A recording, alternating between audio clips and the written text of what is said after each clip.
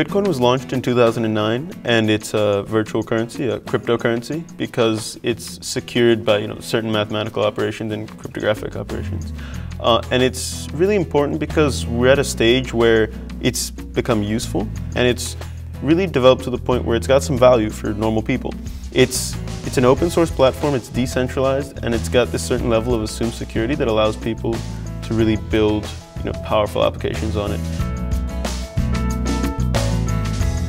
So the MIT Bitcoin project was this initiative started last year to give every undergrad at MIT $100 in Bitcoin. And I think the goal is to take this ecosystem, this very vibrant ecosystem, a college campus and MIT campus, and take these students and give them access to this amazing technology and this amazing platform and kind of see what happens. So the Bitcoin Club, we've put together a Tour de Bitcoin to show MIT students who have received their $100 in Bitcoin and where they can use it in the area or how they can use it online.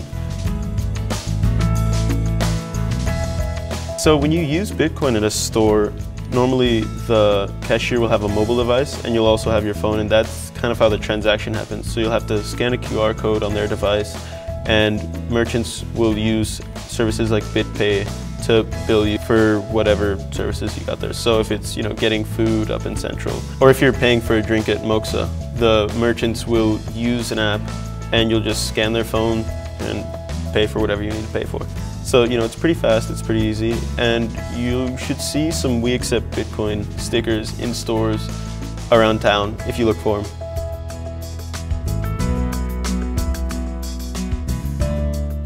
Also, besides the stores that we've shown you, you can also use it in a peer-to-peer -peer way. So if you need to pay a friend back for something they bought for you at Verdi's, or if you want to send money internationally and you have some friends in South Africa, I mean, you can send it to them for like a cent in terms of transaction fees.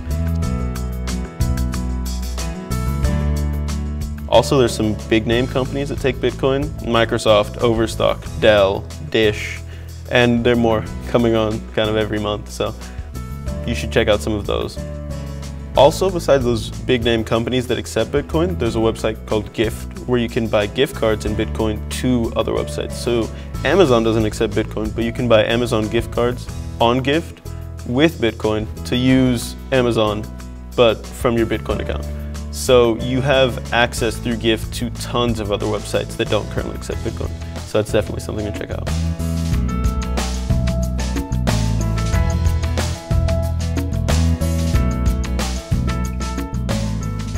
So I've shown you a ton of cool ways to use Bitcoin, but the real power behind the technology is that you, as part of the Bitcoin community, get to create the next big tool to use it. So, you know, get out there, start coding, you know your friends have it, and you know that there's a supportive community here for your next big killer app for Bitcoin. So let, we're really excited to see what you come up with.